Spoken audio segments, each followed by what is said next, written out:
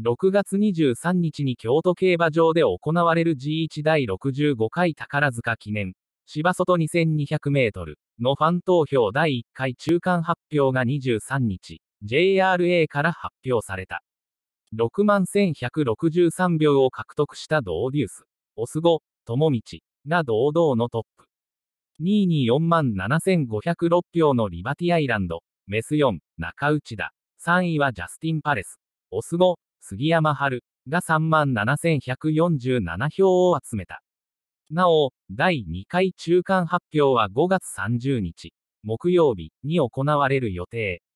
宝塚記念第1回中間発表。1位ドーデュース、6万1163票。